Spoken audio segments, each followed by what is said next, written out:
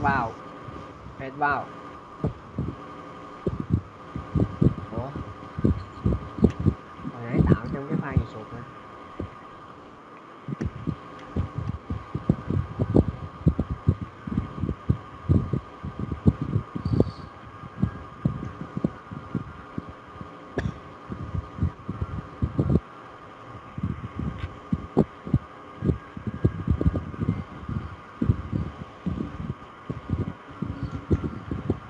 nhớ nè khuôn nấu hàm đó, đi rõ rồi đó. Một chút nữa cái bị nhầm lẫn nữa đây. Set up, start up nó lên. Rồi, ok. Chạy lên thử. Chạy thành công rồi làm cái chuyện tiếp theo. thì bây giờ á, trong siêu cộng nó lại phát sinh ra là khuôn mẫu hàm. Cũng có chỉ trong siêu cộng thôi, thì cú pháp của nó là gì? Template đây nè. Cú pháp của nó này là template class thẹp, hoặc là là thẹp name nè, thai name nè, gọi là thai, cái là kiểu dữ liệu á. Template rồi, ở đây là có hai cách là một class. Rồi, ở đây là tên biến như bình thường đó là tên kiểu dữ liệu cần nhận vào. Ví dụ như là là tuấn đi. Rồi, ở đây mình để là kiểu tuấn kiểu tuấn hết. Đó, trả về. Ở đây, khai báo biến in. In 1 sẽ bằng là 7 rồi in in 2 sẽ bằng là 9 đó. Rồi, slot là fn1 sẽ bằng là 7.5 phải cái là fn2 sẽ bằng là 8.5 rồi chữ double ba chữ dữ liệu luôn ha. Dn1 sẽ bằng là 9.9 rồi dn2 sẽ bằng là 7 chấm 7 7 chấm ờ, uh, 7.8 rồi, đó, ba kiểu dữ liệu. Thì bây giờ mình so sánh, mình gọi là ba hàng nhưng bây giờ chỉ một cái hàm thôi, không còn viết dài dòng như thế nữa, viết dài dòng như hồi nãy giờ nữa. Thì cái này người ta gọi là khuôn mẫu hàm. Đó. ở đây, hai gì để lát ngay đây nè. Thì còn có một cách một cách khác nữa là như thế này. Thiệp thay em đó, vẫn được như bình thường thôi rồi ở đây mình gọi là cái hàm mắt đúng không? Mình xuất ra ha từng cái một. Mình truyền hàm số khác nhau nha. Ở đây là y mắt nè. Sẽ bằng. Rồi ở đây là mắt truyền vào hàm số là in 1 in 2 được chưa? Rồi à, khoan ở đây cho nó xuống dòng cái uhm. ba hàm. Ở đây là f ở đây là d. Truyền vào fn1 fn2 số và chữ d thôi. Chữ d. Rồi. Truyền vào ba cái. Thấy rõ chưa? Rồi, chạy lên nha. Đấy, ra kết quả như mong muốn. Ok chưa? Hai hàng này giữa 7 với 8 là chính lớn nhất. Rồi, giữa 7.5 và 8.5 thì 8.5 là lớn nhất. Giữa 9.9 và 7.8 và 9.9 là lớn nhất. Ở đây là kiểu double, kiểu float kiểu in. Và trong khi đó mình chỉ thiết kế một một hàm duy nhất. Cái này là gọi là gì? Template đó là khuôn mẫu hàm. Là template function hay còn gọi là gì? Template function được chưa? Rồi, thử cú pháp ở trên này luôn. Đó, kiểu lát này đúng không? Đây, dẫn ra như mong muốn thôi. Ok chưa? Đó là cái khuôn mẫu hàm khắc phục được cái yêu cầu là nạp trong hàm. Đó. Nó phát triển từ nạp trong hàm vậy vậy là thầy là ví dụ dùng xài template là cái chữ class sau class đó là một cái tên bất kỳ nhưng mà đừng có cái tên kiểu dữ liệu là được đúng, đúng rồi thầy? ok rồi đó. Đặt tên gì cũng được nhưng mà đừng có trúng kiểu dữ liệu thôi. Tránh nó Dạ. ra tốt nhất là tránh gì thôi đặt thôi. Sao được? Lỗi liền. Nè, dạ. Chữ in thì ở đây là cái hàm bình thường ở đây lỗi nè. Đó ok ha. Dạ để như vậy đi. Có rồi. Ở bên lập trình hướng thủ tục hàm là có khuôn khuôn mẫu hàm.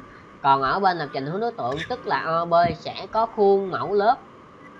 Đó, thì khi nào qua lập trình hướng đối tượng sẽ biết. Khuôn mẫu lớp. Nó còn có dạng khuôn mẫu lớp là đánh lát này nè. Đó. Dạ. Rồi ok đó là khuôn mẫu hàm. Xong rồi kết thúc bài hàm rồi đó. Dạ. Kết thúc bài hàm. Đây để coi coi bài tập về nhà. Thì bài tập là cũng bài tập từ dưới lên thôi. Nhưng mà bây giờ là làm theo kiểu là thiết kế hàm. Hết rồi. Đó. Còn bạn nào muốn giải thêm bài tập á, là anh còn đâu khoảng chừng mấy chục bài tập á. Cỡ năm chục hay là hai mươi chục gì bài tập về hàm á bạn nào cần thì à, inbox anh anh gửi cho chứ cho nhiều quá là ngợp mất công nữa. Dạ. Dạ. Ok chưa? Rồi. Dạ ok. Cường ok với cường? Rồi ngủ rồi ok vinh ok chứ vinh đâu rồi nó cũng luôn rồi. Đứng sao em? Đúng Nói rồi. à tính um, kêu anh uh, nói cái này nữa mà sợ mệt quá. Sao nói đi thì cứ hỏi đi đến kêu anh nói sẵn nói luôn cái quá tải tương tử luôn đi. Sao được? Cái bài đó dài lắm em. Rồi vậy thôi để uh, rồi ok. để sau đi. Hả? Thôi để sau nhưng đi. mà quá tải tuấn tử thì bây giờ em học tới đây rồi đúng không? Quá tải tuấn tử thì hôm bữa là những cái gì mà anh nói với em đó là khi lên lập trình đối tượng á là cũng dạy y vậy nữa à. Mà em không hiểu nữa là anh bó tay luôn á. Là lên lập trình hướng đối tượng thì anh cũng giải thích lại tương tự như hồi bữa anh giải thích cho em thôi ơ mà em chưa học con trỏ mà. Anh Con trỏ á. hướng hướng hướng đối tượng đi đụng con rồi trỏ khoan để anh nói cho lớp trước cái đã. Ai à, buồn ngủ thì cứ đi ngủ trước nha cứ ao trước. Bây giờ là cái ngoài ngoài bài học của mình ha. Ok chưa? Rồi Dạ, ok. rồi. người nào đi ngủ nha. Chúc ờ, lớp ngủ ngon nha rồi về vấn đề đó đúng không con trỏ? Đây nè anh lấy cái reset vô chat vô chat OB hồi trước anh làm nè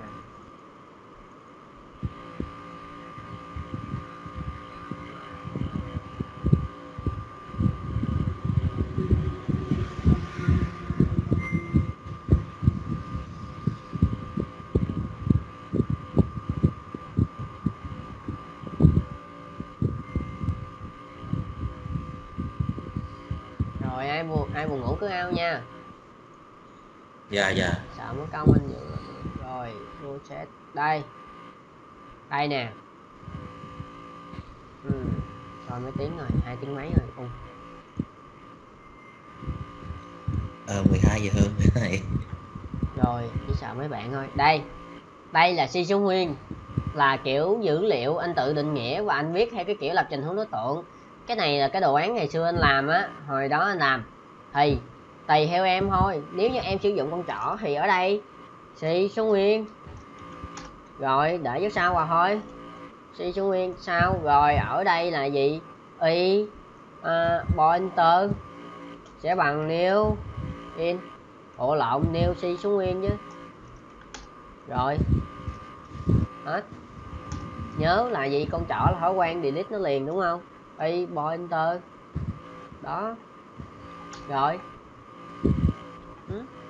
và khi mà em nêu và em xài con trỏ tới lập trình hướng đối tượng vậy á thì có những cái phương thức nằm ở trong đây nữa nè si số nguyên trong đây nè. Nó liên quan rất là nhiều thứ trong đây. Nhiều vấn đề lắm. Bây giờ anh nói sao mà ngắm được? Ừ? mày xài con trỏ rồi để em khác nói đi anh. Hả? Được chưa? Để em khác nói ừ. còn cái quá tải tuấn tử là cái gì quên rồi? Là này hả operator operator đây nè định nghĩa cho nó cái hàm trước thôi cú pháp là gì? Quen quen là cái hàm bạn cái tài liệu. Anh gửi cho em là anh là anh học từ cái tài liệu mà anh gửi cho em luôn á. Đây nè. Ủa sao mấy này tao hồi đó tao học rồi tao quên hết trời. Ừ. tại vì mày là không sau này qua C sharp hả? C sharp là nó xây dựng sẵn hết rồi cho nên thành ra mà mà không có hiểu bản chất của nó là vậy. Làm C sharp á thì mấy cái này sẽ quên hết à siêu cộng là hô sơ mà.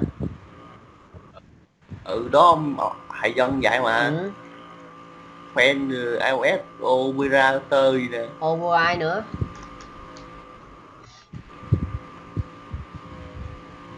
Opera đây nè. Còn cái này nữa. Ừ. nhiều lắm. Lập trình hướng đối tượng mà đào sâu vô nó cũng nhiều lắm á chứ không phải giỡn đâu dạ. Thì si si ông cộng nó khó nhất là cái hướng đối tượng đúng không? Đúng không? Ừ sim cộng có uh, OB mà anh nói ngay từ buổi đầu rồi mà. Si. Ý là ý là em nói là nó khó nhất là cái hướng đối tượng đúng không? OB á. Con trỏ nữa em. Rồi uh, multi thread nữa. Multi thread là cái thằng này nè. Multi thread là siêu siêu ờ, cái gì phân lô multi reset nữa. Reset search rồi multi search rồi multi set rồi à, nhiều lắm. Rồi asin nữa. Asin là cái vụ mà nãy anh à, giải hay cái kiểu mà bài tập á. Bài tập à, ủa, bài tập giải là cái kiểu mà asin á. Asin là bắt đồng bộ với đồng bộ rồi á. Đây nè. Đâu rồi? Cái này nó bự quá khó nhìn. Reset uh, set chín. Không phải. Set 8 còn học luôn đâu rồi ai buồn ngủ cứ đi ngủ nha. Dạ dạ. Đó rồi cái này nè đâu rồi ta? Đâu rồi đâu rồi đâu mất tiêu rồi. Nè nó khó mấy cái thằng này nè. Đây một thằng rồi nó khó cái thằng này nữa nè. Cộng cộng chứ không phải là lập trình hướng đối tượng không. Đây nó có thằng này nữa. Đây thằng này nữa là con trỏ đó rồi à, hướng đối tượng nó cũng khó luôn. Nhưng mấy này nhìn vô hiểu gì chết liền nè đó. Thì nó khó. Hướng đối tượng của nó là khó tại vì bản chất thằng siêu cộng nó hô sơn mà. Còn những cái mà si sáp hay là bi những cái hàng trở lên đó thì nó sẽ nó sẽ có hỗ trợ sẵn hiểu không? Nó viết nó hỗ trợ mình sẵn rồi cho nên là là thành ra mình không có ờ, không có thấy cảm thấy khó như là ờ, cái hàng siêu cộng nữa. Còn siêu cộng đó, tất cả mình phải gì? Mình phải tự định nghĩa lại.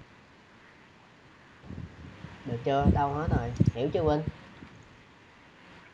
Dạ hiểu anh rồi ok nha con chỏ cái phần con chỏ cũng nhức đầu lắm á. Phần con chỏ á mảng động một chiều mảng hai chiều này kia đồ rồi hiêm thêm xóa sửa cho nó thêm một phần tử xóa một phần tử là hai đổi kích thước á. Co giãn kích thước ra quản lý địa chỉ của nó. Mà con chỏ đâu phải có ờ, khi mà nói tới con chỏ thì nó còn chia ra nhiều nữa. Dạng à, con chỏ cấp 1 cấp 1, cấp 2 rồi cấp 3 nữa cấp 3 ít ai đụng tới lắm. Cấp 2 thì có đụng tới. Dạ. ok chưa? Đâu rồi vinh? Vinh? Dạ ok anh. Rồi ok ha. Rồi còn gì để hỏi nữa không? Không Dạ. gì để hỏi thì ờ, kết thúc. Rồi xong. Về nhớ làm bài tập nha. Còn bài tập ở cái bài dòng lập nữa. Dạ. Mấy cái bài này dễ mà lặp đi lặp lại hoài à. Bây giờ thiết kế những cái bài này gì? Bên bên hướng gì? Hàm hữu tục hàm được chưa? Dạ. Rồi ok. Bye bye lớp. Chúc cả lớp có một Dạ, tối ngủ ngon. Dạ. Bye chúc thầy club ngủ ngon